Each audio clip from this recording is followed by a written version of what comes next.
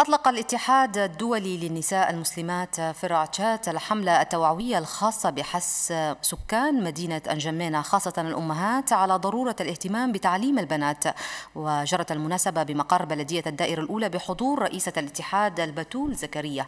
وعمدة الدائرة الأولى محمد إبراهيم صيام. التفاصيل لدى محمد حسن آدم.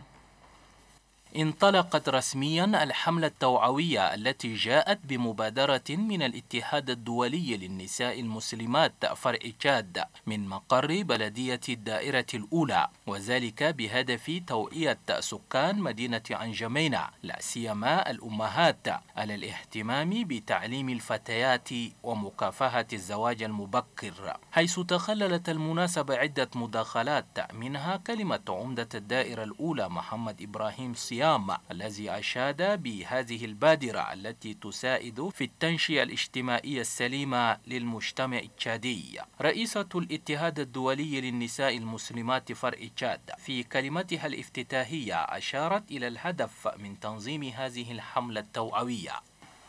القافلة التوعوية عنوانها تعليم البنات من أجل التمكين الاقتصادي للمرأة وكل فوائد العلم المودن في المجال الديني وفي المجال الدنيوي كله سمعتوه.